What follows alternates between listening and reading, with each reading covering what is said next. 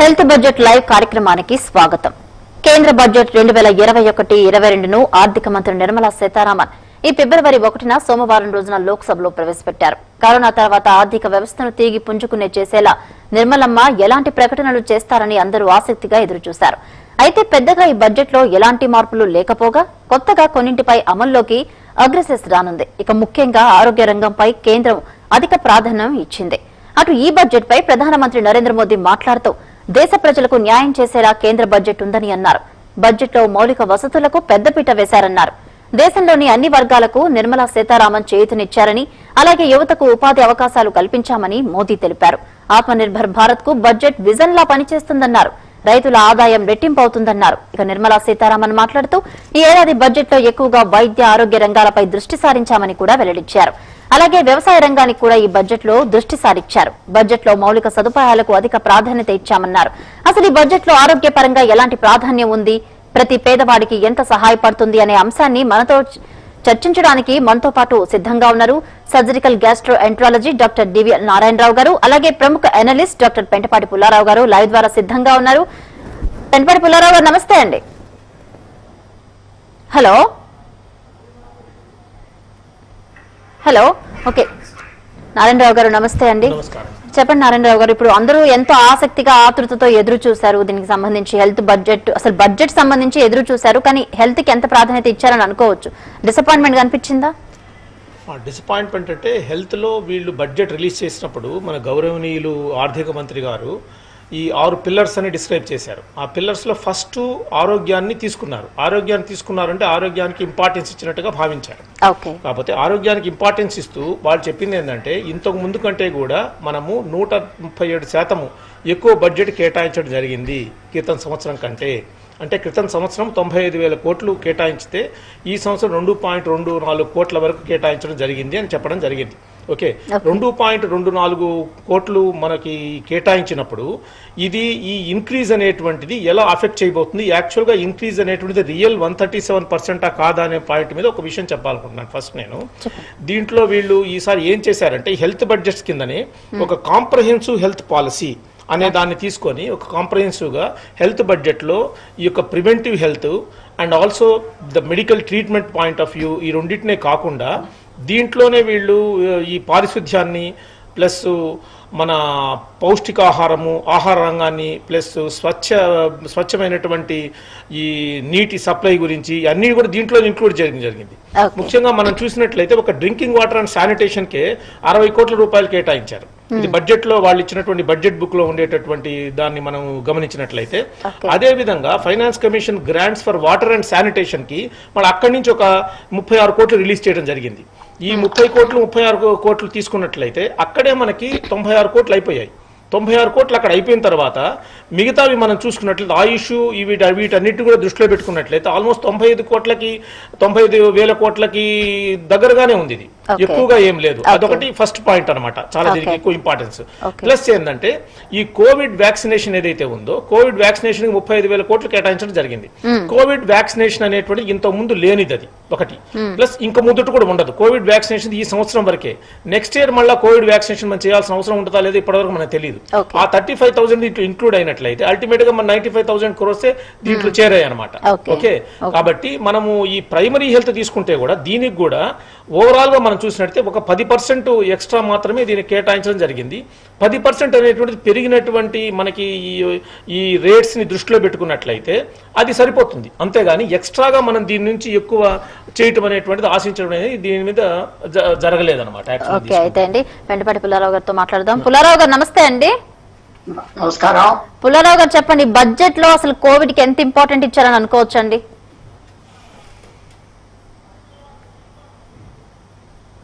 బాగా ఇంపార్టెన్స్ ఇచ్చారు. ఎందుకంటే ఈ ఫండ్స్ అన్ని కాకుండా ప్రధానమంత్రి కేర్ ఫండ్ కూడా ఉన్నది. చాలా ఇంపార్టెన్స్ ఆ ఫండ్ కూడా అలాట్మెంట్స్ చేస్తా వస్తున్నారు. యాక్చువల్ ఫిగర్స్ బయటికి రాలేదు. So PM CARES fund PM relief fund వాళ్ళు కూడా కేటాయిస్తున్నారు. తర్వాత పబ్లిక్ సెక్టర్ యూనిట్స్ అన్ని కూడా వాళ్ళ హెల్త్ కేర్ వాళ్ళ ఎంప్లాయీస్కి అదే అల్లు చేస్తున్నారు. ఒక రకంగా మనం చూస్తే ఎస్ డాక్టర్ నారాయణరావు గారు చెప్పింది చాలా వాస్తవం. టెన్ పర్సెంట్ పెరిగింది అన్నారు. కానీ నా వ్యూ ఏమిటంటే ఇప్పటి వరకు ఎపిడెమిక్ని ఉన్న రిసోర్సెస్తో మేనేజ్ చేశారు. రాబోయే సంవత్సరం వ్యాక్సినేషన్కి డబ్బు అలాట్ చేశారు. మంచి అమౌంట్ అలాట్ చేశారు. ముప్పై ఐదు వేల కోట్లు. ఎందుకంటే అది అమెరికన్ లెక్క కింద చూస్తే ఐదు బిలియన్ డాలర్లే కదా అంటే పర్చేసింగ్ పవర్ ప్యారిటీ అంటే ఆ వాల్యూ ఎంతంటే భారతదేశంలో ఒక డాలర్ వాల్యూ ఎంత కొంటుంది యుఎస్ఏలో ఎంత కొంటుంది నేను అనుకుంటున్నా ఫైవ్ టు టెన్ టైమ్స్ ఇది మన దేశంలో పర్చేసింగ్ పవర్ వాల్యూకి చూస్తే చాలా పెద్ద బడ్జెట్ ఒక విషయం మనం మర్చిపోవటం ఏంటంటే డబ్బు కేటాయిస్తే అయిపోతుందా ఒకటి. డబ్బు మిస్యూజ్ అవుతుంది. Government institutions last year funds కూడా ఇప్పుడు వరకు ఖర్చు పెట్టలేదు. ఉన్న సంస్థల్ని పెంచాలా? కొత్త సంస్థలు తీసుకురావాలా? ఇంకా ఆ విషయాల్లో గవర్నమెంట్ ఇంకా ఎక్స్ప్లోర్ చేయలేదు. ఎందుకంటే ఈ సిచ్యువేషన్లో ఉన్నాయే పెంచుదాం ICMR national institute for virology for example in Pune. ఇలాంటివి పెంచుకోవటమా ఏంటి? క్లారిటీ లేదు. సో అందువల్ల ఎస్ ఇంకో యాభై వేల కోట్లు ఎలా చేసామంటే ఆ డబ్బు ఉపయోగం దుర్వినియోగం అవుతుంది. అది చూస్తున్నాం కదా బడ్జెట్ అనేది మన దేశంలో జీరో బేస్డ్ బడ్జెటింగ్ కాదు. అంటే లాస్ట్ ఇయర్ ఇచ్చిన ఫండ్ మీకు యాభై వేల కోట్లు ఇచ్చాం. యాభై వేల కోట్లు లెక్క పెట్టండి అని ఉండదు. యాభై వేల కోట్లు ఇచ్చాం ఈ సంవత్సరం ఇంకో ఐదు వేల కోట్లు కలుపుతున్నాం పదివేల కోట్లు కలుపుతున్నాం అలా చేస్తున్నాం. సో అందువల్ల నేను ఎప్పుడైతే ముప్పై ఐదు వేల కోట్ల రూపాయలు ప్రత్యేకంగా వ్యాక్సినేషన్ ఇచ్చారు అది కూడా మన దేశంలో వంద రూపాయలకో రెండు వందల రూపాయలకో నేను వ్యాక్సిన్ ప్రొవైడ్ చేస్తాం అంటున్నారు కాబట్టి అది కూడా మన దేశంలో విపరీతమైన వ్యాక్సినేషన్ కెపాసిటీ ప్రొడక్షన్ ఉన్నది కాబట్టి నేను చాలా హ్యాపీ ఓకే ఓకే. చాలా మంది అనుకున్నది ఏంటంటే ఈ నూట నూట ముప్పై ఐదు కోట్ల జనానికి చేయక్కర్లేదు కదా. మనం ఈ సంవత్సరంలో ముప్పై నలభై కోట్లు యాభై కోట్లకి చేస్తే సప్రెస్ స్టేట్స్ కాబట్టి. కోవిడ్ వ్యాక్సినేషన్ ఇన్ఫెక్షియస్ డిజీజెస్ మీదే మనం చూసుకుంటా ఉంటే చాలా ముఖ్యం. తర్వాత ఇంకో చిన్న విషయం ఎక్స్ప్లోర్ చేయవలసింది. మెడికల్ ఎడ్యుకేషన్కి బూస్ట్ ఇచ్చారా లేదా. ఎక్కువ డాక్టర్స్ని వచ్చే విధానాలు కాలేజెస్ కెపాసిటీ పెంచారా గవర్నమెంట్ హాస్పిటల్స్ కాలేజెస్ పెట్టుకోవడానికి లింకేజ్ ఇచ్చారా అంటే రాష్ట్రపతి గారు మాట్లాడిన స్పీచ్లో ఒక యాభై వేల డాక్టర్స్ కెపాసిటీ ఎక్కువ చేస్తున్నట్టుగా నాకు జ్ఞాపకం ఉన్నది సో అది కూడా చాలా పాజిటివ్ స్టెప్ అనుకుంటున్నా. ఊరుకునే బిల్డింగ్స్కి వాటికి ఇచ్చే బదులు Hmm. Human resources doctors technicians nurses. ఇది చాలా ముఖ్యం. పెద్ద షార్టేజ్ ఉన్నది సో ఎక్కువగా మెడికల్ ఎడ్యుకేషన్ మీద గవర్నమెంట్ ఎంకరేజ్ చేసే ఫోకస్ చేస్తే అది కూడా ఆత్మనిర్భర్ ప్రోగ్రామ్గా. మన దేశంలో మన డాక్టర్లు చేస్తున్నాం. ఎక్కడో వెస్ట్ ఇండీస్కి వెళ్ళకుండా ఫిలిప్పీన్స్కి వెళ్ళకుండా చూస్తున్న వ్యాక్స్ అది కాకుండా కూడా ఇక్కడ మంచి పని కదా. సో మనం. బ్యాలెన్స్గా చూస్తే కోవిడ్ వ్యాక్సినేషన్ చేశారు. ఓకే కొంచెం బడ్జెట్ పెంచారు. అలాగే డ్రింకింగ్ వాటర్ సప్లై శానిటేషన్ మీద ఎంఫసిస్ ఇచ్చి ఎక్కువ ఫండ్స్ పెంచడం చాలా best policy most of the diseases ఎక్కువ వ్యాధులు మనకి పోర్ డ్రింకింగ్ వాటర్ శానిటేషన్ నుంచి వస్తుంది ఇన్ఫెక్షన్ వస్తుంది కాబట్టి Hmm. అది నిజంగా క్లీన్ పైప్ వాటర్ అందరికి అందిస్తాం ఇంకో సంవత్సరం రెండు సంవత్సరాల్లో ఉన్నారు గవర్నమెంట్ ఇంటికి Hmm. అది పెద్ద హెల్త్ ప్రోగ్రామే కదా హెల్త్ Hmm. పాలసీయే కదా. న్యూట్రిషన్ కూడా కొద్దిగా ఏదో చేస్తా ఉన్నారు. నేను ఎకానమిస్ట్గా Hmm. ఇది ఊరుకునే ఫండ్స్ ఎలా వచ్చిందని భారతదేశం దగ్గర డబ్బు లేదు ఎస్ మనం ఐదో ఎకానమీ ప్రపంచంలో కానీ ఎక్కువ జనం ఉన్నాం. పర్ క్యాపిటల్ ఇన్కమ్ తక్కువ మంది. Hmm. అందువల్ల ఉన్నదాంతో సర్దుకోవాలి కాబట్టి. Hmm. పర్వాలేదు ఈ బడ్జెట్ కొంచెం ఎంఫసస్ వచ్చింది. At least chief economic advisor ఆయన survey of the economy economic సర్వేలో ఈ విషయం కూడా బాగా ఎత్తారు హెల్త్ మీదే. హెల్త్ ఉండాలి. దానికి ఇలా చేస్తున్నాం అలా చేస్తున్నాం. ఆ intention జీడిపికి three percent two point five percent three percent వరకు మనం పెరగాలి. ఇంటెన్షన్ ఆయన అన్నారు కాబట్టి రాబోయే రోజుల్లో హెల్త్కి ఎక్కువ ఎంఫసిస్ ఇస్తారు ఒక. చిన్న మాట చెప్తాను. తర్వాత పబ్లిక్ కూడా ప్రెషరైజ్ చేయాలి హెల్త్ ఫెసిలిటీస్ అది చేయటం లేదు. వెల్ఫేర్ స్కీమ్స్ ఫ్రీ బీస్ ఇచ్చి వేలు ఇస్తే చాలా అంటున్నారు కానీ మాకు మంచి హాస్పిటల్ మా మండలంలో కావాలి. మా మా లోకల్ డాక్టర్స్ కావాలి. అది చేయట్లేదు కాబట్టి ఆ ప్రెషర్ కూడా పబ్లిక్ నుంచి గవర్నమెంట్ మీదకి రావాలి. ఓకే ఓకే పుల్లారావు గారు. నారాయణరావు గారు మీరు చెప్పండి ఇప్పుడు భారత ప్రభుత్వం ఎంతో ప్రతిష్టాత్మకంగా చేపట్టిన ఆయుష్మాన్ భారత్కు సంబంధించి. ఇది క్రితం సంవత్సరం నిధులతోనే కేటాయించినట్టు తెలుస్తుంది. దీని అంతర్యం ఏంటనుకోవచ్చు మనం?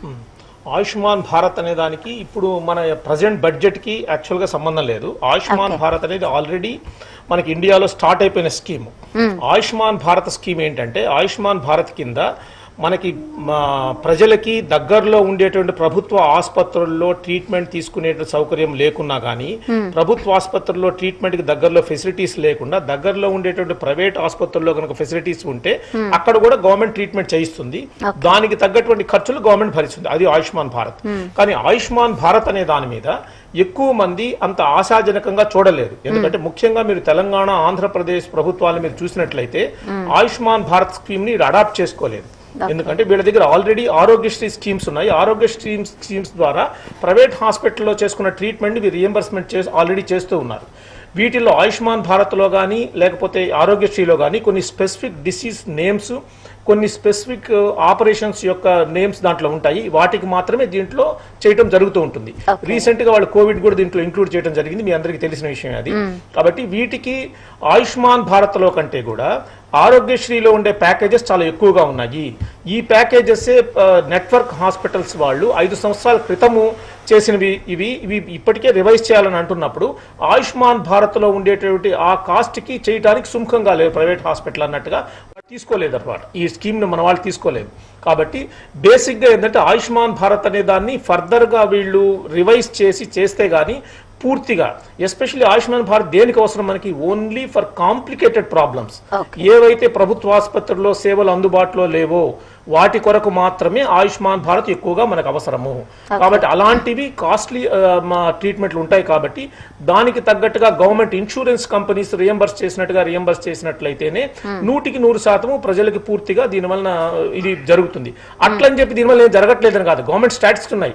ఎన్ని లక్షల మంది దీంట్లో దీని వలన లబ్ధి పొందారు? ఎన్ని లక్షల ఆపరేషన్ దీంట్లో చేశారు అనేటువంటిది గవర్నమెంట్ యొక్క స్టాట్స్ కూడా ఉన్నాయి. Majority of these things are in northern states southern స్టేట్స్లో వీటి యొక్క తక్కువ ముఖ్యంగా ఆంధ్రప్రదేశ్ తెలంగాణలో ఇప్పటి వరకు అయితే ఇది అందుబాటులోకి తీసుకురాలేదు. ఓకే నారాయణరావు గారు. పుల్లారావు గారు మీరు చెప్పండి బడ్జెట్లో గవర్నమెంట్ నూట అరవై ఐదు శాతం హెల్త్కి సంబంధించి వేస్తే పది శాతం మాత్రమే పెరిగినట్లు కనిపిస్తుంది. దీనిపై మీరేమంటారు? అంటే ఇందాక డాక్టర్ నారాయణ గారు దీని మీద కూడా వివరించారు. నేను చెప్పేది ఏంటంటే గవర్నమెంట్ ఆయన చెప్పినట్టుగా కాంప్రిహెన్సివ్ హెల్త్ మేమేదో ఉన్న హెల్త్ మినిస్ట్రీ కాదు. Health ministry by self stand అలోన్గా. ఒంటరిగా నిలబడే సంస్థ కాదు. హెల్త్ ఆరోగ్యం మిగతా డిపార్ట్మెంట్స్ కూడా డిపెండ్ అవుతుంది. అలాగే మంచి హౌసింగ్ ఉంటే హైజీన్ పెరుగుతుంది. మంచి శానిటేషన్ ఉంటే డిసీజెస్ తగ్గుతాయి. డ్రింకింగ్ వాటర్ కనుక చక్కగా ఉంటే అన్నిటికంటే ప్రాబ్లం తగ్గుతాయి. అదే చిన్న విషయం కూడా నేషనల్ మలేరియా ఎరాడికేషన్ ప్రోగ్రామ్. ఇప్పుడు మీరు చూస్తున్నారు కదా నెట్స్ అన్ని చోట్ల ట్రైబల్ ఏరియాలో ఫ్రీగా డిస్ట్రిబ్యూట్ చేస్తున్నారు. నార్త్ ఈస్ట్లో ఏంటి ఆంధ్రాలో ఏంటి తెలంగాణ సప్రెస్ చేయడానికి మలేరియా సప్రెస్ చేస్తే హాస్పిటల్ కెపాసిటీ పెంచినట్లకే కదా. గుడ్ హెల్త్ ఆరోగ్యం ఇస్తే హాస్పిటల్స్ మీద ఖర్చు తగ్గిపోతుంది కదా.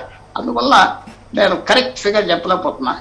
Government of India two lakhs wellness centres two lakhs ten thousand fifteen thousand target పెట్టుకున్నారు. ఇరవై ఇరవై రెండుకి. ఇప్పటికి దాదాపు అరవై వేలు చేశారు.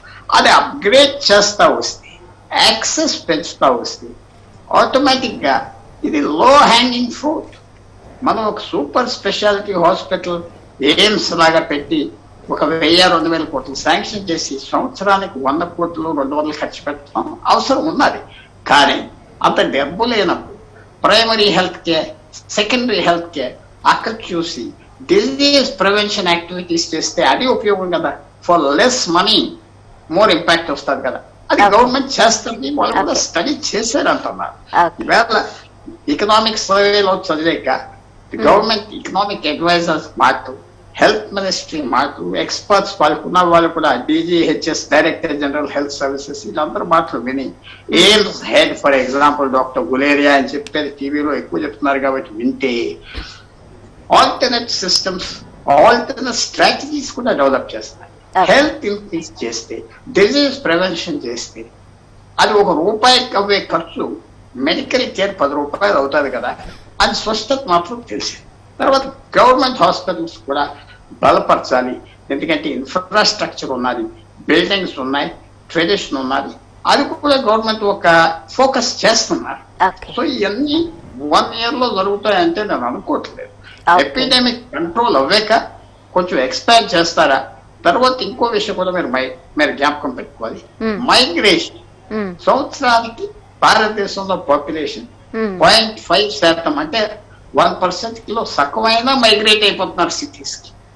కొన్ని స్టేట్స్లో వన్ పర్సెంట్ కూడా మైగ్రేట్ అయిపోతున్నారు విలేజెస్ నుంచి సిటీస్కి. సో ఎంతవరకు బ్యాలెన్స్ చేయాలి?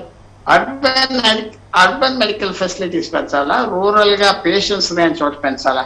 ఈ డిబేట్ కూడా జరుగుతుంది.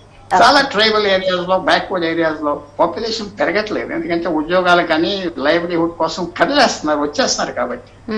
ఇది కూడా ఒక ఫ్యాక్టర్. పర్మనెంట్ బిల్డింగ్స్ కట్టి హెల్త్ స్ట్రక్చర్ అని చూపెట్టాలా? సర్వీసెస్ మీద ఎక్కువ పెంచాలా సర్వీసెస్ మీద ఒక పది రూపాయలు పెంచితే. అది ఈజీగా కొంతమందికి జరుగుతుంది కదా. ఒక. అమౌంట్ స్మాల్ అమౌంట్ పెంచితే. సో ఇవన్నీ స్ట్రాటజీస్ డబుల్ అండ్ చోట్ చేస్తాం. కాకుండా చెప్పండి. కూడా యూకే యుఎస్ఏ లా కూడా సరిగ్గా ప్రొవైడ్ చేయలేకపోయారు కదా. ఈ పాండమిక్లో చూసాం కదా. Hmm. సో భారతదేశం లెక్క చూస్తే పర్వాలేదు. ఓకే పుల్లారావు గారు నారాయణరావు గారు మీరు చెప్పండి. ఇప్పుడు మెడికల్ ఎడ్యుకేషన్కి సంబంధించి బడ్జెట్లో ఎంత వరకు ప్రాధాన్యత ఇచ్చారు? మెడికల్ ఎడ్యుకేషన్ గురించి ప్రాధాన్యత గురించి మాట్లాడే ముందు మ్మ్. ఇప్పుడు మా పుల్లారావు గారు నమస్కారం అండి. పుల్లారావు గారు. మనకి చెప్పినట్టుగా ఇప్పుడు primary and middle level okay and also higher. ఇప్పుడు హయ్యర్ ఏదైతే ఉందో రెఫరల్ సెంటర్స్ కింద మెడికల్ ఎడ్యుకేషన్ అనేవి వస్తాయి మెడికల్ కాలేజ్ వస్తాయి అన్నమాట ఇప్పుడు మొదటి నుంచి కూడా ట్రెడిషనల్గా మనకి ఇండియాలో ఎలా ఉంది అంటే ప్రైమరీ హెల్త్ కేర్ అనేది టోటల్గా గవర్నమెంట్ రెస్పాన్సిబిలిటీ మిడిల్ లెవెల్ కేర్లో కొంత ప్రైవేట్ పార్ట్నర్షిప్ అనేది కొంత జరుగుతుంది. హయ్యర్ కేర్ అనేది ఎక్కువగా ప్రైవేట్ పార్ట్నర్షిప్ అనేది నైంటీ పర్సెంట్ వరకు టెన్ పర్సెంట్ వరకు మాత్రమే గవర్నమెంట్ సెక్టర్ అనేది ఇన్వాల్వ్మెంట్ అనేది జరుగుతూ ఉంది. ఇప్పుడు గవర్నమెంట్ అనేటువంటి వాళ్ళు మన పుల్లారావు గారు చెప్పినట్టుగానే ఈ అర్బనైజేషన్ వలన ఇప్పుడు అర్బన్ అండ్ డిస్ట్రిక్ట్ లెవెల్లో కూడా గవర్నమెంట్ ఈవెన్ సెంట్రల్ గవర్నమెంట్ ఇప్పుడు బడ్జెట్లో కూడా డిస్ట్రిక్ట్ లెవెల్లో కూడా ఫెసిలిటీస్ పెంచడానికి వాళ్ళు చాలా ప్రయత్నం చేశారు. అదే విధంగా మెడికల్ కాలేజెస్ విషయంకి వస్తే టెస్టరీ కేర్ కింద వస్తుంది. ఫర్ ఎగ్జాంపుల్ ప్రైమరీ కేర్ కింద గనక ఈ బడ్జెట్లో మనం గనక చూసుకున్నట్లయితే పదిహేడు వేల ఏడు వందల ఎనభై ఎనిమిది గ్రామీణ ప్రాంతాల్లో ఆరోగ్య సంరక్షణ కేంద్రాలు ఏర్పాటు చేస్తామని చెప్పారు. కానీ మన యొక్క ప్రిపేర్డ్నెస్ మన యొక్క అఫోర్డబిలిటీని పక్కన పెడితే ఈ సంఖ్య అనేటువంటిది ఇంత పెద్ద దేశానికి సరిపోకపోవచ్చు. అది వేరే విషయం. అట్లని చెప్పి ఒకే రోజు అంతా చేయలేరు. స్టెప్ బై స్టెప్ వాళ్ళు ఇయర్ బై ఇయర్ పెంచుకుంటూ పోతారని నేను కూడా ఆశిస్తున్నాను. అదేవిధంగా మిడిల్ స్థాయిలో కనుక తీసుకున్నట్లయితే వాళ్ళు ఆరోగ్య సంరక్షణ కేంద్రాలు ఇక్కడ కూడా మిడిల్ లెవెల్ అర్బన్ లెవెల్లో కూడా పదకొండు వేల ఆరోగ్య సంరక్షణ కేంద్రాలను ఏర్పాటు చేస్తామని చెప్పి వాళ్ళు ప్రకటించడం జరిగింది. అంతేకాకుండా middle level hospital district level hospitals కాబట్టి అక్కడ ఎమర్జెన్సీ కేర్ కోసము ఒక ఫిఫ్టీన్ హెల్త్ ఎమర్జెన్సీ సెంటర్స్ రెండు మొబైల్ హాస్పిటల్స్ కూడా వాళ్ళు ఏర్పాటు చేస్తామని చెప్పడం జరిగింది. కానీ రెండు మొబైల్ హెల్త్ సెంటర్స్ ఇంత పెద్ద కంట్రీలో ఎక్కడ పెడతారు ఏంది. అనేటువంటిది అది అది ఒక విషయం. కానీ ఇది స్టార్టింగ్ పాయింట్ అంటే అర్బన్ హెల్త్ కేర్ మీద కూడా మేము ఇంపార్టెన్స్ ఇస్తున్నాం అనేటువంటి ఒక సూచనలు అయితే చేయడం జరిగింది. అదే విధంగా ప్రతి జిల్లాలో రోగ నిర్ధారణ ల్యాబ్స్ అనేటువంటి ఏర్పాటు చేయడం కూడా వాళ్ళు ఆలోచిస్తున్నారు. దీంట్లో మేము ప్రభుత్వాన్ని కోరేది ఏంటంటే ప్రతి జిల్లా అనేటువంటిది ఏదైతే ఉందో ఆ సంఖ్యని పట్టుకొని పెద్ద జిల్లాలు ఉంటాయి చిన్న జిల్లాలు ఉంటాయి. కాబట్టి ఇంత సంఖ్యకి ఒక ఒక సెంటర్ గనక పెట్టినట్లయితే ఆ చుట్టుపక్కల విలేజెస్ నుంచి అంతా ఒక రోగ నిర్ధారణ చేసుకోవటం కానీ రోగ నిర్ధారణ చేసినందువలన తర్వాత జరిగేటువంటి ట్రీట్మెంట్కి సంబంధించినటువంటి ఫెసిలిటీస్ కూడా దగ్గరలో కల్పించినట్లయితే బాగుంటుందని. దాన్ని బేస్ చేసుకొని మీరు అన్నట్టు మెడికల్ కాలేజ్ అనేది ప్రతి డిస్ట్రిక్ట్ సెంటర్లో కూడా మెడికల్ కాలేజ్ ఏర్పరచాలా అనేటువంటి ఒక డిమాండ్ రావటం కానీ గవర్నమెంట్ ఒక వాళ్ళ యొక్క అనాలిసిస్లో ఈ యొక్క ఇలాంటి దృక్పథం అనేటువంటిది గవర్నమెంట్ ద్వారా కూడా మనం చూ చూస్తూ ఉన్నాం ఇప్పుడు. Hmm. అప్పుడు అదే అదే విధంగా టెరిషరీ కేంద్రం ఏం చేశారు వాళ్ళు? గవర్నమెంట్ అనే వాళ్ళు మీరు మెడికల్ కాలేజ్ కనుక పెట్టుకున్నట్లయితే సెంట్రల్ గవర్నమెంట్ ఫండింగ్ చేస్తాము. ఓకే. మీరు లోకల్గా మెడికల్ కాలేజ్ కావాల్సిన ఇన్ఫ్రాస్ట్రక్చర్ దానికి కావాల్సినటువంటి ల్యాండ్ అక్విజిషన్ మీరు చేసుకున్నట్లయితే మేము ఇస్తాము అని చెప్పి వాళ్ళు గమనించడం జరిగింది. దీన్ని ఆసరాగా తీసుకొని ఆంధ్రప్రదేశ్ గవర్నమెంట్ ఇప్పుడు అది ఆంధ్రప్రదేశ్ ఇప్పుడు ఒకప్పుడు లాగా పెద్ద స్టేట్ కాదు చిన్న స్టేట్ అయినప్పుడు కూడా పదహారు కొత్త మెడికల్ కాలేజ్ గవర్నమెంట్ సెక్టర్లో వాళ్ళు స్టార్ట్ చేయడానికి ఆల్రెడీ వాళ్ళు ప్రయత్నాలు ప్రారంభించి గవర్నమెంట్ ఆ, వైపు సంబంధించి ల్యాండ్ అక్విజిషన్కి అన్నిటికి కూడా ఆల్రెడీ వాళ్ళు వాళ్ళు ఆ ల్యాండ్ అక్విజిషన్ కార్యక్రమం కూడా పూర్తి చేయడానికి కూడా ప్రయత్నం చేస్తూ ఉన్నారు మెడికల్ కాలేజ్ ఇదే కాకుండా సెంట్రల్ గవర్నమెంట్ ఇప్పుడు నేషనల్ ఇన్స్టిట్యూట్ ఆఫ్ వైరాలజీ. ఇప్పుడు ఎస్పెషల్లీ మనకి కరోనా టైంలో ఈ వైరాలజీ ఇన్స్టిట్యూట్స్ వాటి రీసెర్చ్ అక్కడ వ్యాక్సిన్ డెవలప్మెంట్ వీటి యొక్క ఇంపార్టెన్స్ గుర్తించి నేషనల్ ఇన్స్టిట్యూట్ ఆఫ్ వైరాలజీ లాంటి సంస్థలను ఇంకొక నాలుగు నాలుగు నాలుగు ప్రదేశాల్లో నాలుగు దిక్కులా కూడా గవర్నమెంట్ స్థాపించడానికి కూడా ఇప్పుడు రెడీ అయ్యి ముందుకు వచ్చారు అవి కూడా స్థాపిస్తామని కూడా వాళ్ళు ఇప్పుడు దీంట్లో ఈ మన బడ్జెట్లో చెప్పడం జరిగింది. అదే విధంగా డబ్ల్యూహెచ్ఓ కింద ఉండేటటువంటి ఈ సౌత్ ఈస్ట్ ఏషియా దక్షిణ ఆసియాకి ప్రాంతీయ పరిశోధనా కేంద్రాన్ని కూడా మేము నెలకొల్పి ఇండియాలో నెలకొల్పి దాని ద్వారా ఫర్దర్గా డబ్ల్యూహెచ్ఓకి వీళ్ళకి ఒక విధమైనటువంటి లైజాన్ తీసుకొని ఈ యొక్క రీసెర్చ్ అండ్ డెవలప్మెంట్ వ్యాక్సినేషన్ ఇవన్నీ కూడా డెవలప్ చేస్తామనే దానికి కూడా వాళ్ళు ముందుకు రావడం జరిగింది. ఓకే అండి కాల్ తీసుకుందాం కాల్ తర్వాత మనం మాట్లాడదాం. హలో హలో నమస్తే మేడం. నమస్తే అండి మీ పేరు ఎక్కడి నుంచి కాల్ చేస్తున్నారు? నా పేరు మురళి మేడం నేను చిత్తూరు డిస్ట్రిక్ట్ నుంచి చెప్పండి మురళి గారు మాట్లాడండి. పుల్లారావు సార్తో మాట్లాడండి పుల్లారావు గారు. హలో. మాట్లాడండి. పుల్లారావు గారు వింటున్నారు. చెప్పండి చెప్పండి. మురళి గారు. సార్ నమస్తే సార్. ఇది స్వచ్ఛ నమస్కారం. భారత్ కోసం కేటాయిస్తున్న నిధులు దేశానికి ప్రజలకు ఎంతవరకు ఉపయోగపడుతున్నాయో మీరు చెప్పాలి సార్ దాని గురించి. ఎక్స్ప్లెయిన్ చేయండి భవని గారు. వినపడలేదు. హలో మురళి గారు. అంటే స్వచ్ఛ భారత్కు సంబంధించి నిధులు కేటాయించారని అంటున్నారా? కోసం బడ్జెట్లో ఎంత కేటాయిస్తున్నారు కదా? జనానికి దేశానికి ఎంతవరకు బడ్జెట్లో స్వచ్ఛ భారత్కి నిధులు కేటాయించారు కదా అవి భారతదేశంలో ప్రజలకు ఎంతవరకు ఉపయోగకరంగా ఉంటాయని అంటున్నారు. నా వ్యూలో భారతదేశంలో టాయిలెట్స్ అని క్లీన్ వాటర్ సప్లై చేస్తే గవర్నమెంట్ వందల సంవత్సరాల బట్టి లేని ఆరోగ్యం వస్తుంది. మనం ఎక్కడ చూసినా ఒక విషయం మాత్రం ఈ గవర్నమెంట్ని మనం విమర్శిస్తే మంచిది విమర్శించకపోయినా ఎవరి ఇష్టం అనేది Swachh Bharat public toilets sanitation ఆ ముఖ్యత గ్రహించి. మీరు ఇక్కడ అక్కర్లేదు. మీరు పట్టణంలో సిటీ సెంటర్ నుంచి బయటికి వెళ్తే ఒక టాయిలెట్ కూడా ఉండేది కాదు కదా. అసలు ప్రజలు ఆలోచిస్తున్నారా? గవర్నమెంట్ మున్సిపాలిటీలు కార్పొరేషన్ ఏంటి? ఇతర దేశాల్లో వంద గజాలకి ఐదు వందల గజాలకి టాయిలెట్స్ ఉంటాయి. దానివల్ల అశుభ్రత ఫిల్త్. ఎంతో డిగ్నిటీ లేకుండా బ్రతుకుతున్నారు. పర్టిక్యులర్గా చిన్న టౌన్స్లో సిటీస్లో టాయిలెట్ అనేది ఫ్రీడమ్ ఇచ్చింది. టాయిలెట్ రాగానే డిగ్నిటీ పెరిగింది లేడీస్కి అందరికీ అందరికి.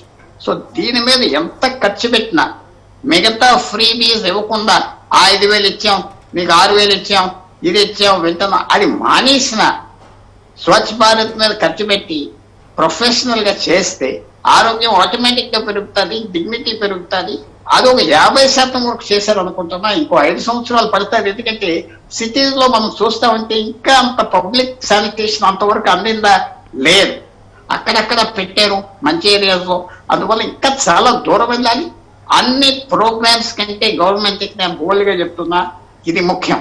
మిగతా రూరల్ డెవలప్మెంట్ మిగతా అర్బన్ డెవలప్మెంట్ ఏంటంటే కొంచెం ప్రజలను తృప్తి చేయడానికి కానీ డైరెక్ట్గా పబ్లిక్ బెనిఫిట్. మీరు ఆరోగ్యంగా ఉంటే నాకు ఆరోగ్యం ఉంటుంది ఒక వ్యక్తి కోవిడ్ వస్తే అందరికీ అనారోగ్యం తీసుకొస్తున్నారు ఇన్ఫెక్షన్స్ నేను ఎంత జాగ్రత్తగా ఉండినా ఉపయోగం లేదు. మీరు జాగ్రత్తగా ఉండాలి సొసైటీ జాగ్రత్తగా ఉండాలి. అందరికీ basic minimum health. Drinking water clean water ఇచ్చి. ఆ మినరల్ వాటర్ బిజినెస్ ఈవేళ ఎవరో వంద సంవత్సరాల క్రితం అన్నారంట. మంచినీళ్ళు కూడా కొనుక్కోవాలి భారతదేశంలో ప్రపంచంలో అని. ఆ ఫేమస్ మన మన ఇంటెలిజెంట్ ఫిలాసఫర్ ఒక ఆయన పేరు రావట్లేదు నాకు. మంచినీళ్ళు కూడా కొనుక్కోవాలని. ప్యూర్ డ్రింకింగ్ వాటర్ ఇచ్చి శానిటేషన్ అప్గ్రేడ్ చేసి పబ్లిక్ టాయిలెట్స్ ఇచ్చి ఎక్కడైనా ప్రతి పబ్లిక్ వెళ్ళే బిల్డింగ్లో పబ్లిక్ టాయిలెట్ ఉండాలి. అది పెడితే మన దేశం బాగుపడుతుంది. ఇంకో చిన్న విషయం చెప్తా. సరై యాక్ట్ అని బ్రిటిష్ సమయంలో రెండు వందల సంవత్సరాల క్రితం నుంచి వస్తుంది. సరై అంటే దానికి ఏంటంటే మంచినీళ్ళు ఏ హోటల్ దగ్గరికి వెళ్ళినా మంచినీళ్ళు ఎవరు వచ్చినా ప్రొవైడ్ చేయాలని యాక్ట్లో ఉన్నది రెండు వందల సంవత్సరాల ఆ రోజుల్లో బ్రిటిష్ అన్నారు నువ్వు ఒక పబ్లిక్ హోటల్ కట్టినా ఏం కట్టినా మంచినీళ్ళు అందరికి సో ఆ కామన్ సెన్స్ మనకి రావాలి. పబ్లిక్ టాయిలెట్స్ మీరు ఇప్పుడు ఏ ఊరు నుంచి ఫోన్ చేశారో నాకు తెలియదు తిరిగి చూడండి ఎక్కడైనా పబ్లిక్ టాయిలెట్స్ ఉన్నాయా? ఎవరు. వెళ్తారు? ఆడోళ్ళు ఎక్కడికి వెళ్తారు? ఎక్కడికి వెళ్తారు? మనం ప్రజలు అశుభ్రంగా ఉన్నారు అంటున్నాం కానీ ప్రజలకు ఆ ఫెసిలిటీస్ ఇవ్వకపోతే ఏం చేస్తారు? సో అందువల్ల అది చాలా మంచి ప్రోగ్రామ్ చాలా కేర్ఫుల్గా చేయాలి. డబ్బు మాత్రం వేస్ట్ చేయకూడదు. ఓకే పుల్లారావు గారు. నారాయణరావు గారు మీరు చెప్పండి బడ్జెట్లో కేటాయించిన ముప్పై ఐదు వేల కోట్లకు సంబంధించి వ్యాక్సినేషన్ ప్రక్రియకు సంబంధించి అసలు వాదన సరిపోతుందా? ఈ ముప్పై ఐదు వేల కోట్లు అనేది కేటాయించడం? ముప్పై ఐదు వేల కోట్లు వాళ్ళు ఎలా కేటాయించారు అనే దానికి వాళ్ళు ఏదైతే మనకి గ్రౌండ్ రియాలిటీస్ని దృష్టిలో పెట్టుకొని దీన్ని క్యాలిక్యులేట్ చేశారో దాని ప్రకారం చూస్తే ఇది సరిపోతుందని అనుకోవాలి కాకపోతే ఈ కోవిడ్ టైంలో ముప్పై ఐదు వేల కోట్లు ఖర్చు పెడుతున్నాం అన్నారే తప్ప ఇప్పుడు డాక్టర్స్కి హెల్త్ కేర్ వర్కర్స్కి ఆల్రెడీ వ్యాక్సినేట్ చేశారు. ఇప్పుడు అదర్ ఫ్రంట్ లైన్ వర్కర్స్కి వ్యాక్సినేట్ చేస్తాం అంటున్నారు. కామన్ ప్రజానికానికి వచ్చేటప్పటికి పూర్తిగా మేము ఫ్రీగా ఇస్తున్నామా లేదా అనేటువంటిది ఇప్పటిదాకా అవగాహన లేదు. ఒకటి నెంబర్ వన్ నెంబర్ టూ ఏంటంటే మనకి ఇప్పుడు దాకా డాక్టర్స్కి హెల్త్ కేర్ వర్కర్స్ ఇచ్చింది ఈ ఇచ్చిన వ్యాక్సిన్ ఏదైతే ఉందో అది కోవిషీల్డ్ వ్యాక్సిన్ అది అది మన ఈ ఆక్స్ఫర్డ్ వ్యాక్సిన్ మనకి ఇచ్చింది. విచ్ ఈజ్ మన ఈ వైరాలజీ ఇన్స్టిట్యూట్ నుంచి తయారైన వ్యాక్సిన్ అనమాట ఇది. అది కాకుండా భారత్ బయోటెక్ నుంచి కోవాక్సిన్ కూడా మనకు వచ్చింది. ఇప్పుడు మిగతా వాళ్ళకి కోవాక్సిన్ తీసుకొస్తున్నారు. ఈ కోవిషీల్డ్ వ్యాక్సిన్ అనే ఏదైతే ఉందో వీళ్ళ దగ్గర ఈ ఆస్ట్రాజెనికా వాళ్ళు ప్రిపేర్ చేసింది. దాంట్లో fifty five lakh vaccine doses ఇంకా వాళ్ళ దగ్గర వెయిటింగ్ ఉన్నాయి. ఎక్స్పెక్టెడ్ టు బి వేరే కంట్రీస్కి వాళ్ళు ఎక్స్పోర్ట్ చేయంగా ఇండియా కేటాయించినవి ఈ fifty five lakhs vaccine doses ఏవైతే ఉన్నాయో వాటి కోసం గవర్నమెంట్ ఇంకా ఇండియన్ రాలేదు అనేటువంటిది కూడా ఈ రోజు నిన్నట్లో మనం వినటం జరిగింది. అంటే ఎందుకు రావట్లేదు అంటే వాళ్ళు ప్రాబబ్లీ కోవాక్సిన్ అని అక్వైర్ చేసుకొని దాంతో నెక్స్ట్ వ్యాక్సినేషన్ చేస్తారనేటువంటిది. దీంట్లో పుల్లారావు గారు చెప్పినట్టుగా కాస్ట్ అనేది ఇన్వాల్వ్డ్ ఓకే ఈ కోవాక్సిన్ అనేటువంటి కాస్ట్ తక్కువ ఉన్నప్పుడు వాళ్ళు తక్కువ కాస్ట్ ఉండే వ్యాక్సిన్ వైపు కనుక గవర్నమెంట్ చూస్తూ ఉన్నట్లయితే అది నిజమైతే వాళ్ళందరికీ కూడా ఫ్రీగా వ్యాక్సినేషన్ ఇవ్వడానికే ప్రయత్నం చేస్తున్నారని నేను అనుకుంటున్నాను. కాబట్టి ఓవరాల్గా తీసుకుంటే థర్టీ ఫైవ్ థౌసండ్ అనేది సరిపోతుంది సరిపోకపోయినా కూడా అందరికీ వ్యాక్సినేషన్ అనేది కంపల్సరీగా చేస్తారు. ఇంకా కాస్త డబ్బులు అవసరమైతే రిలీజ్ చేస్తారు. ఎందుకంటే ఇందాక మన పుల్లారావు గారు కూడా చెప్పినట్టుగా అందరూ వ్యాక్సినేషన్ చేసుకుంటేనే వ్యాక్సినేషన్ చేసుకున్న వాళ్ళు కూడా సేఫ్. కొంతమందికి చేసుకుని కొంతమంది చేయకపోతే మనం ఇక్కడ ఖర్చు పెట్టిన డబ్బు కూడా వృధా అవుతుంది కాబట్టి అందరికీ వ్యాక్సినేషన్ చేయడం జరుగుతుందని నేను అనుకుంటున్నాను ఏదో ఒక విధంగా. ఓకే. అయితే పుల్లారావు గారు మీరు చెప్పండి ఆర్థిక నిపుణులు ఈ సంవత్సరం హెల్త్ బడ్జెట్ని నెగిటివ్ బ్యాలెన్స్ బడ్జెట్గా అభివర్ణిస్తున్నారు. దీనిపై అసలు మీరు ఏమంటారు ఒకటి నారాయణరావు గారు డాక్టర్ గారు చెప్పిన మాట ఒకటే యాడ్ చేస్తా. ఇది చాలా స్లోగా కూడా జరుగుతుందేమో వ్యాక్సినేషన్ భారతదేశంలో అనుకుంటున్నాను ఈవేళ నలభై ఐదు లక్షల మందికి చేసామని ఏదో ఒక అచీవ్మెంట్గా చెప్పుకున్నారు గవర్నమెంట్. దాదాపు ఇరవై రోజులు అవ్వింది. అంటే రోజుకు రెండు లక్షల మందికి చేస్తున్నారు. చాలా స్పీడ్ చాలా స్లోగా వెళ్తున్నారు. ఇదే నాకు కొద్దిగా అర్థం అవ్వట్లేదు వ్యాక్సిన్ స్టాక్ ఉన్నారు వ్యాక్సిన్ చేసే వాళ్ళు ఉన్నారు. మనకి పోలియో పల్స్ వ్యాక్సిన్ ఇవన్నిటికి మనకి బ్రహ్మాండమైన ఇన్ఫ్రాస్ట్రక్చర్ ఉన్నది. అందరూ చేయగలరు. ఈ రిలీజ్ చేయడంలో స్లో చేయడంలో చాలా ఇబ్బంది వస్తుందేమో అని ఆలోచిస్తున్నా. ఇంకో చిన్న మాట. ఆల్రెడీ ఇజ్రాయెల్లో ఎక్కువగా చేశారు. దానివల్ల డిజీజ్ ఇజ్రాయెల్లో సప్రెస్ అయిపోతుంది. అమెరికాలో కూడా సప్రెస్ అయిపోతుంది. ఎక్కువ చేయపోయిన అమెరికాలో రోజుకు పదిహేను లక్షల మందికి చేస్తున్నారు కాబట్టి సప్రెస్ అవుతుంది. ఇంగ్లాండ్లో కూడా అవుతుంది. మన దగ్గర స్టాక్స్ ఉన్నాయి చౌకగా ఉన్నాయి. ఇక్కడే నా ఫీలింగ్ గవర్నమెంట్ కొద్దిగా స్లోగా వెళ్తుంది స్పాయిల్ అయిపోతుంది. క్విక్గా చేసేయచ్చు భారతదేశానికి ఎక్స్పోర్ట్ చేయొచ్చు. ఇది ఎకానమీ స్టేబిలైజ్ అవుతాయి. అదే నాకు కూడా కొద్దిగా ఆలోచన వచ్చింది. మీరు ఇప్పుడు అన్నది మీ క్వశ్చన్కి ఎప్పుడైనా అందరూ ఎకానమిస్ట్ అది చాలలేదు ఇది చాలలేదు ఇంకా చేయాలంటారు. ఎక్కడికి డబ్బు? టాక్సేషన్ చేయడానికి లిమిట్గా ఉన్నది. టాక్సేషన్ మనం ఎక్కువ చేస్తే ఆర్థిక వ్యవస్థ దెబ్బతింటుంది పబ్లిక్ కూడా రెబెల్ అవుతారు. ఆల్రెడీ పెట్రోల్ మీద ఎంత తీయాలో డబ్బు అంత గవర్నమెంట్ తీస్తుంది. మోస్ట్ ఎసెన్షియల్ ఐటమ్ పెట్రోల్ అని తీసేది దాని మీద ఎక్కువ ట్యాక్సెస్ వేసారు తీస్తున్నారు. కాబట్టి బడ్జెట్ అనేది అన్లిమిటెడ్ అమౌంట్ కాదు. చాలా లిమిటెడ్గా ఉన్న ఫండ్స్ భారతదేశానికి. మనకి న్యాచురల్ రిసోర్సెస్ మీద గవర్నమెంట్కి డబ్బు రావట్లేదు. రాయల్టీ రావట్లేదు. అది మన కొన్ని దేశాలు ఎలా చేస్తున్నారు? మిడిల్ ఈస్ట్ అంటే వాళ్ళకి రాయల్టీ వస్తుంది ఫ్రీగా డబ్బు వస్తుంది. నార్వే స్వీడన్కి ఫ్రీగా ఆయిల్ మీద నుంచి పెద్ద ఫండ్స్ ఉన్నాయి. సో మనకి ఇలా క్రిటిసైజ్ చేయటం కరెక్టే కాదా? ఆలోచించాలి కొన్ని విషయాలకు ఎక్కువ చేస్తూ కొన్ని విషయాలకు తక్కువ చేస్తూ ఒకసారి గవర్నమెంట్లో బ్యూరోక్రసీలో అలాట్మెంట్స్ చేసాక ఆ స్కీమ్ తీసేయటం చాలా కష్టం. చాలా పొలిటికల్ రెసిస్టెన్స్ వస్తుంది అల్లరి వస్తుంది కాబట్టి.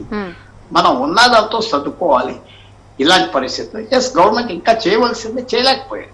ఓకే. దాటం ఫ్యూచర్ చూసుకుంటా పోవాలి. ఓకే. ఓకే పుల్లారావు గారు నా- నారాయణరావు గారు మీరు చెప్పండి. ఈ బడ్జెట్ ద్వారా నేషనల్ ఫ్యామిలీ ప్లానింగ్ సంబంధించి గ్రామీణ వైద్య సేవలపై ప్రభావం చూపే అవకాశం ఉంటుందని అనుకోవచ్చా? ఇది ఈ బడ్జెట్లో ఎక్కువగా ఏంటంటే వీళ్ళు కోవిడ్ దాన్ని దృష్టిలో పెట్టుకొని కోవిడ్ టైంలో వచ్చేటువంటి ప్రాబ్లమ్స్ దృష్టిలో పెట్టుకొని తయారు చేసిన బడ్జెట్. మీరు చెప్పినప్పుడు గ్రామీణ ప్రాంతాల్లో హెల్త్ గురించి ఇందాకే నేను చెప్పాను. వాళ్ళు ఏ రకంగా అడ్రస్ చేశారు కొత్తగా ఈ. వెల్నెస్ సెంటర్స్ ఎన్ని స్టార్ట్ చేస్తున్నారు అనేటువంటిది.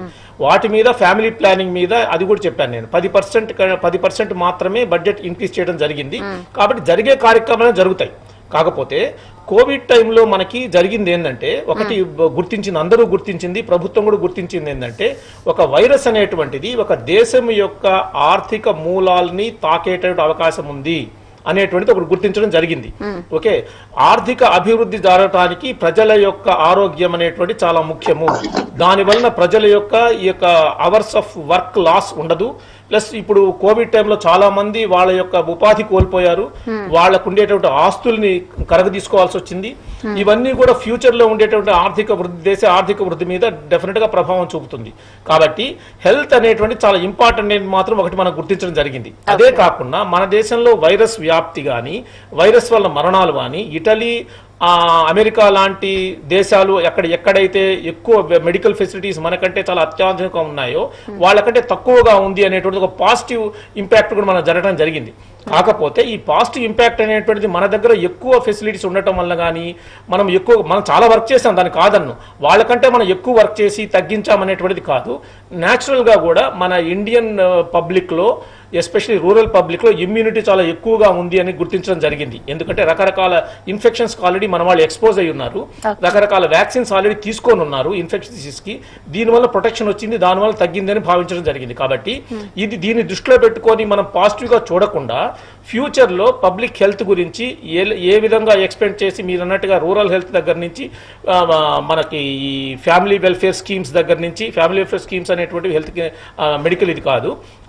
రకరకాల ఫెసిలిటీస్ అర్బనైజేషన్ దృష్టిలో పెట్టుకొని అర్బన్ హెల్త్ సెంటర్స్ ఇంప్రూవ్ చేయడం గురించి వీటి గురించి డెఫినెట్గా థింక్ చేయాలి. కానీ పుల్లారావు గారు చెప్పినట్టుగా బడ్జెటరీ అలొకేషన్స్ అనేటువంటి మన యొక్క స్తోమతను బట్టే ఆధారపడి ఉంటాయి కాబట్టి ఇది ఒక first step towards the future అని నేను అనుకుంటున్నాను. ఇది అంతం కాదు ఇది ఆరంభం అని అనుకుంటున్నాను.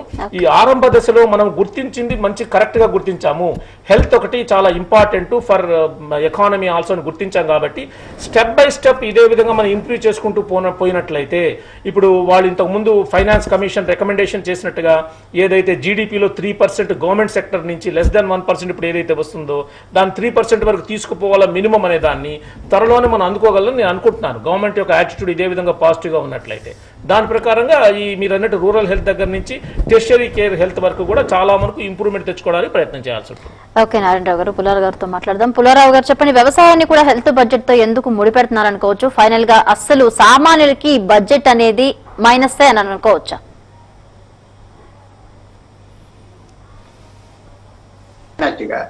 మన దేశంలో అవసరాలు చాలా ఎక్కువ ఉన్నాయి. చాలా కష్టం. ఫైనాన్స్ మినిస్టర్కి మనం దూషిస్తాం అలా క్రిటిసైజ్ చేస్తాం కొన్ని విషయాలకి. కానీ ఒక పక్కన భారతదేశానికి మీరు మర్చిపోతున్నారు. ఐదు లక్షల కోట్లు సంవత్సరానికి డిఫెన్స్ మీద ఖర్చు పెడతాం ఉమ్, అలాగే హోమ్ మినిస్ట్రీ ద్వారా లక్ష కోట్లు. చిన్న అమౌంట్స్ కాదు. ఏ దేశానికి ప్రపంచంలో వాళ్ళ ఇన్కమ్ చూస్తే ఇంత హై బడ్జెట్ ఎవరికి లేదు. మనకి ఎందుకంటే మన పరిస్థితి భారతదేశానికి అన్ఫార్చునేట్గా ఏడు వేల కిలోమీటర్స్ మీద టెన్షన్ ఉన్నది డైలీ టెన్షన్ పంతొమ్మిది వందల నలభై ఏడు నుంచి పంతొమ్మిది వందల యాభై తొమ్మిది నుంచి చైనా పాకిస్తాన్తో ఎప్పుడు మనం గవర్నమెంట్ గురించి ఆలోచించినప్పుడు ఒక కన్నా విషయం మీద మనం జ్ఞాపకం పెట్టుకోవాలి. ఉమ్, అది మర్చిపోతున్నాం. అంతా సేఫ్గా ఉన్నాం. హైదరాబాద్లో విజయవాడ లో వైజాగ్లో చెన్నైలో అని మనం భావిస్తున్నాం. కదా ఆ సేఫ్టీ ఇక్కడ ఖర్చు పెట్టే దాని మీద ఉన్నది కాబట్టి ఓకే ఏ రకంగా గవర్నమెంట్ తగ్గించాలి తర్వాత మన గవర్నమెంట్ కూడా ఒక వెల్ఫేర్ స్టేట్లో మనం ఉన్నాం ప్రజలు అడిగేది మాకు ఏమి ఇస్తావు మాకు ఫ్రీ ఎడ్యుకేషన్ కావాలి ఫ్రీ పవర్ కావాలి ఫ్రీ వాటర్ కావాలి అంతా ఫ్రీ కావాలి ఇవ్వకపోతే డెమోక్రసీ నడవట్లేదు అందువల్ల ఈ బ్యాలెన్స్ చేయటానికి అందరినీ తృప్తి చేయటానికి ఇంపార్టెంట్ ఇష్యూస్కి డబ్బు ఖర్చు పెట్టాలి ఎలా ఖర్చు పెట్టాలి చాలా పెద్ద ఎక్సర్సైజ్ ఫార్చునేట్గా ఏ గవర్నమెంట్ వచ్చినా మన దేశంలో మేనేజ్ చేస్తున్నారు. చాలా కష్టంతో మేనేజ్ చేస్తున్నారు. కానీ మనకున్న ఎక్స్పీరియన్స్ ఈ దేశంలో మనకున్న నాయకత్వం అందరి అన్ని వర్గాలు బ్యూరోక్రసీ అయితే అన్ని మేనేజ్ చేస్తున్నారు. సో అందువల్ల బడ్జెట్ ఒకవేళ ఇంకో ఇరవై వేల కోట్లు ఇచ్చారనుకోండి హెల్త్కి రాష్ట్రానికి ఇస్తారు. ఆ డబ్బు సరిగ్గా వాడతారా? ఉమ్, ఎక్కువ లోవర్ లెవెల్ ఎంప్లాయీస్ని టెంపరీగా పెట్టుకుంటారా? అది వేస్ట్ అయిపోతారా? అది ఎవరు చూస్తున్నారు? వర్క్ స్టడీ ప్రోగ్రామ్స్ ఏమైనా చేశారా? హెల్త్లో? అసలు ఎవరు బాగా కాంట్రిబ్యూట్ చేస్తారు? ఎవరు లోవర్ లెవెల్లో చేస్తారా? హైయర్ లెవెల్ ఏం లేదు. ఒక చిన్న ఐడియా ఇస్తున్నాను మీకు. ఇతర దేశాల్లో హైబ్రిడ్ కార్స్ ఉన్నాయి హైబ్రిడ్ ట్రాన్స్పోర్ట్ ఉన్నాయి. మన దేశంలో పబ్లిక్ హెల్త్ ప్రైవేట్ సెక్టార్ని ఎలా కలపాలి? వాళ్ళకున్న బలాలు ఎలాగ వాడాలి? పెద్ద గవర్నమెంట్ హాస్పిటల్ ఉన్నాయి కాలేజెస్ లేవు. మెడికల్ కాలేజెస్ పెట్టి మీరు వెయ్యి బయట హాస్పిటల్ రన్ చేయాలంటున్నారు. ఈ ఐడియా వచ్చింది డిస్కస్ చేశారు. ఇది ఇంకా ముందర తీసుకెళ్తలేదు ఆల్రెడీ గవర్నమెంట్ ఫెసిలిటీస్ ఉన్నాయి ప్రైవేట్ సెక్టర్ ట్యాప్ ఉన్నాయి. ఈ రెండు కలిపి ఒక ఫామ్కి వస్తే గవర్నమెంట్కి బర్డెన్ తగ్గుతుంది? ఎక్కువ హాస్పిటల్ ఎక్కువ మెడికల్ కాలేజెస్ రావచ్చు. ఒక మెడికల్ కాలేజ్ ఒక జిల్లాలో వచ్చిందంటే దాదాపు నలభై యాభై మైళ్ళలో హెల్త్ సర్వీస్ ఇస్తుంది పేషెంట్స్ చూస్తున్నారు మంచి డాక్టర్స్ వస్తున్నారు స్టూడెంట్స్ వస్తున్నారు. కాబట్టి మెడికల్ ఎడ్యుకేషన్ మొదలు తీసుకునే సమయంతో ఉన్న గవర్నమెంట్ హెల్త్ సెక్టర్ను వాడుకోవచ్చా? ఒక హైబ్రిడ్ ఎంటిటీని ఎలా చేయాలి? ఆ పాలసీలో గవర్నమెంట్ ఆలోచించాలి. ఎందుకంటే ఒక చోట రిసోర్సెస్ వేస్ట్ అయిపోతున్నాయి ఒక చోట రిసోర్సెస్ లేవు. అది కనుక చేయగలిగితే ప్రైవేట్ సెక్టర్ పబ్లిక్ సెక్టర్ ఒక జాయింట్ సెక్టర్ లాగా ముందరికెళ్తే చాలా వరకు ఈ దేశంలో ఇబ్బందులు తగ్గిపోతాయి.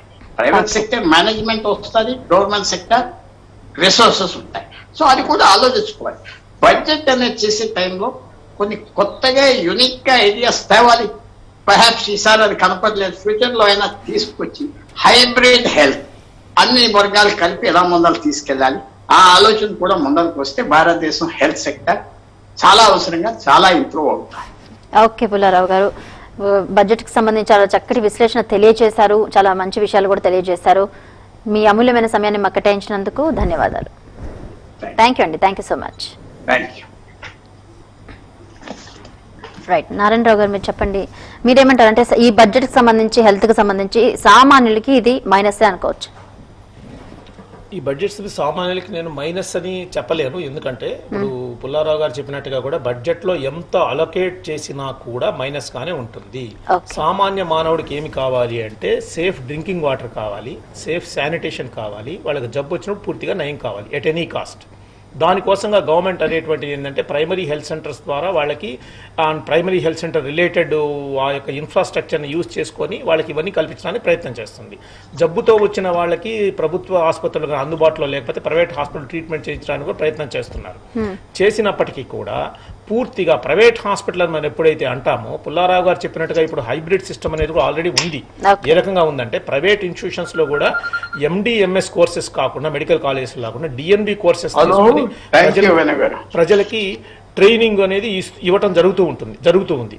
కానీ ప్రైవేట్ సెక్టర్కి గవర్నమెంట్ సెక్టర్కి తీసుకున్నట్లయితే ఇప్పుడు మనకి ఏంటంటే యావరేజ్గా థర్టీ పర్సెంట్ గవర్నమెంట్ సెక్టర్ తీసుకుంటే seventy percent health care industry అంతా అంటే ఎక్సెప్ట్ ప్రైమరీ హెల్త్.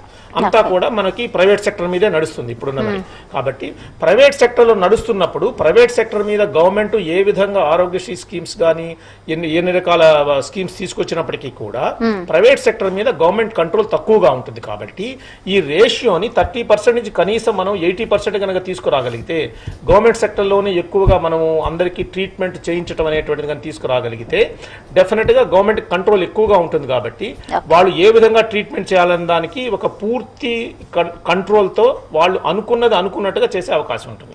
అదొకటి మాత్రం కంపల్సరీ ఏం చేయాలి? అది గవర్నమెంట్ ఆల్రెడీ ఏం చేస్తుంది? మెడికల్ కాలేజ్ కూడా ఇంప్రూవ్ చేయాలని గవర్నమెంట్ ఇష్యూ ఇంప్రూవ్ చేయాలని ఏం చేస్తుంది? కానీ ఉండేటువంటి బడ్జెట్లో ఒక్క సంవత్సరంలో ఇవన్నీ కావు. కొన్ని సంవత్సరాల్లో కూడా కావటానికి మధ్య మధ్యలో రకరకాల ప్రాబ్లమ్స్ వచ్చేస్తూ ఉంటాయి.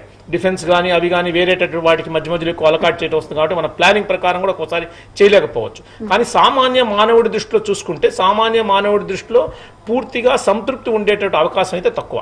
అసంతృప్తి ఉండే అవకాశం ఉంటుంది సామాన్య మానవుడికి. అదైతే మనం యాక్సెప్ట్ చేయాల్సిందే. సంతృప్తి పరచడానికి మనం ఫర్దర్గా ప్రయత్నం చేయాలి. అట్లీస్ట్ కొన్ని సంవత్సరాల్లో అయినా కూడా మనం ఆ యొక్క టార్గెట్ మనం రీచ్ కాగలిగితే సరిపోతుందని నేను అనుకుంటున్నాను. Balance between government and private sector is definitely చాలా ఇంపార్టెంట్ అది. అండ్ uh, uh, ఫ్యూచరిస్టిక్గా మనం కానీ ఆలోచించినట్లయితే ఫ్యూచర్ అనేటువంటిది ప్రైమరీ సెక్టర్లో ఉండేటటువంటి కొంత అలొకేషన్ ఇంప్రూవ్ చేయడం అనేటువంటిది డెఫినెట్గా మనం చేయగలము. కాకపోతే రీసెర్చ్ అండ్ డెవలప్మెంట్ విషయంలో ఇండియాని ఏ లెవెల్లో తీసుకోగలము పోగలము అనే దాని మీద మాకున్న అనుమానాలు మాకున్నాయి. ఎందుకంటే గ్రౌండ్ రియాలిటీస్ మనం చూసుకున్నట్లే ఇందాక వారు చెప్పినట్టుగా ఆల్ ఇండియా ఇన్స్టిట్యూట్లో ఇప్పుడు ఎంబీబీఎస్ జాయిన్ అయినటువంటి విద్యార్థులు ఎంతమంది ఇండియాలో ఉంటున్నారు? ఎవరు ఇండియాలో ఉండటం లేదు. Very only minor percentage only Indian Institute of Science నుంచి గ్రాడ్యుయేట్ అయిన వాళ్ళు అక్కడ పిహెచ్డి చేసిన వాళ్ళు ఎంతమంది ఇండియాలో రీసెర్చ్ ఫర్దర్ రీసెర్చ్ కంటిన్యూ చేస్తున్నారు? అందరూ బ- వేరేటటువంటి అడ్వాన్స్ కంట్రీస్కి వెళ్తున్నారు. కాబట్టి ఇండియాలో రీసెర్చ్ అనేటువంటిది నువ్వు you have to make it lucrative there is no choice everything is money okay మనమేదో వాళ్ళు వీళ్ళు గొప్ప మేధావి అని మేధావిని మనం పొగిడినంత మాత్రాన పనులు జరుగుతాయని అనుకోవటం అనేది తప్పు. ఎవ్రీథింగ్ ఇస్ అ మనీ ల్యూక్రేటివ్గా మన రీసెర్చ్ ఎప్పుడైతే మనము తయారు చేస్తామో ప్లస్ రీసెర్చ్ ఫెసిలిటీస్ అనేది వరల్డ్ క్లాస్ రీసెర్చ్ ఫెసిలిటీస్ కలిసి అప్పటి వరకు కూడా మనం వెయిట్ చేయాల్సిందే. రీసెర్చ్కి బడ్జెట్ ఎంత ఖర్చు పెట్టారు? రెండు వేల ఆరు వందలు రీసెర్చ్ కింద తీసుకున్నారు. ఇది ఎంత ఎక్కువ? అంత ముందు సంవత్సరంలో పంతొమ్మిది వందలు ఉన్నది. లాస్ట్ ఇయర్ రెండు వేల ఒక్క వందకు వస్తే రెండు వేల ఆరు వందలు. ఓన్లీ మనకి ఇంక్రీజ్డ్ కాస్ట్ని అది కవర్ చేసిందే తప్ప ఎక్స్ట్రాగా మనకి రీసెర్చ్ చేసి రీసెర్చ్ ఫెసిలిటీస్ ఇంప్రూవ్ చేసుకోవడానికి అవకాశం లేదని మనం అనుకోవాలి. ఆ బడ్జెట్ అవకాశం బట్టి చూస్తే. కాకపోతే గవర్నమెంట్ తప్పు లేదు. ఆ తొమ్- పంతొమ్మిది వందలు అంతకు ముందు ఇరవై ఒక్క వందలు లాస్ట్ ఇయర్ అనేది నిజంగా యూటిలైజ్ చేశారా? రీసెర్చ్కి మనకి విడుదలైనటువంటిది ఏదైతే ఉందో హెల్త్ బడ్జెట్ కిందే కాకుండా సైన్స్ అండ్ టెక్నాలజీ నుంచి డిపార్ట్మెంట్ ఆఫ్ బయోటెక్నాలజీ నుంచి కూడా రీసెర్చ్ కోసంగా నిధులు విడుదల చేయడం జరుగుతుంది ఆ నిధులు యూటిలైజ్ చేసేవాడు ఎక్కడ ఉన్నాడు ఇండియాలో that is the main important so నిధులు నిధుల్ని యూజ్ చేసుకొని రీసెర్చ్ చేసి తను పేరు తెచ్చుకుంటూ కొత్త రకమైనటువంటి అన్వేషణలు తీసుకొచ్చి ఒక వ్యాక్సిన్ రంగంలోనే కాకుండా ఒక డ్రగ్ ప్రొడక్షన్ కొత్త మందులు తయారు చేయడంలో దగ్గర నుంచి కొత్త రకమైనటువంటి పరీక్షా విధానాలు కానీ కొత్త రకమైనటువంటి ట్రీట్మెంట్ పద్ధతులు కానీ డెవలప్ చేసేటటువంటి అవకాశాన్ని కనుక వాళ్ళకి మనం కల్పించినట్లయితే I again I'm stressing the word it must be lucrative then people will show the interest ఒక స్పెషలిస్ట్ కానీ వాళ్ళకి అమెరికాలో ఎక్కువ అవకాశాలు ఉన్నాయి లేకపోతే ప్రైవేట్ సెక్టర్లో ఎక్కువ అవకాశాలు ఉన్నాయి అన్నప్పుడు గవర్నమెంట్ సెక్టర్ మీద వాళ్ళు ఇంట్రెస్ట్ చూపించకపోవచ్చు.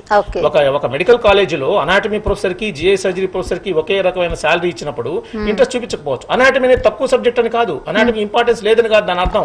ప్రైవేట్ సెక్టర్లో జిఐ సర్జరీ ప్రొఫెసర్కి ఉన్న జిఐ సర్జరీ స్పెషలిస్ట్కి ఎక్కువ అవకాశం ఉంది కాబట్టి వాడు ప్రైవేట్ సెక్టర్ మీద చూసే అవకాశం ఉంది. అదే అవకాశాన్ని మన గవర్నమెంట్ సెక్టర్లో కలిపి కల్పించి వీళ్ళందరినీ మనం నిలబెట్టుకొని వీళ్ళ ద్వారా మన వర్క్ చేయించి కొత్త కొత్త నూతన ఆవిష్కరణలకి మనం నాంది పలకాల్సిన అవసరం అయితే ఎంతైనా ఉంది. దాంట్లో ఏ విధమైనటువంటి సందేహం లేదు. ఓకే డాక్టర్ గారు ఇప్పుడు చూసుకుంటే భారత్లో వ్యాక్సినేషన్ ప్రక్రియ కొనసాగుతుంది. మరో పక్క చూసుకుంటే బ్రిటన్ దేశ కావచ్చు బ్రిటన్ కావచ్చు ఈ మధ్య బ్రెజిల్లో కూడా కరోనా స్ట్రెయిన్ రెండు రకాలు గుర్తించారని జరుగుతుంది. మరి ఒకవేళ ఆ సమస్య ఆ స్ట్రెయిన్ అనేది మన భారతదేశంలో ప్రవేశిస్తే పరిస్థితి ఎలా ఉంటుంది? ఆ వ్యాక్సిన్ పనిచేస్తుందని అనుకోవచ్చా?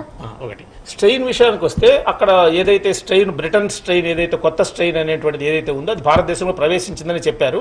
కానీ ఎక్కువ మోతాదులో అది స్ప్రెడ్ కాలేదు ఒకటి. అది కాకుండా ఇండియాలో ఉండే స్ట్రెయిన్ కూడా మార్పు చెంది ఇంకొక రకమైన మార్పు చెందుతుంది. వైరస్ ఎలాగైనా మార్పు చెందుతుంది. కాబట్టి ఇప్పుడు చేసిన వ్యాక్సినేషన్ యొక్క మన ఎక్స్పెక్టేషన్ ఏంటంటే ఈ వ్యాక్సిన్ ఏదైతే చేశామో అది బ్రిటిష్ స్ట్రెయిన్కి ప్లస్ కొత్తగా ఇది మార్పు చెందబోయే వైరస్ ఏ విధంగా మార్పు చెందినా కూడా దానికి కూడా ఈ వ్యాక్సిన్ పనిచేస్తుంది అని మనం మనము భావించాల్సి వస్తుంది.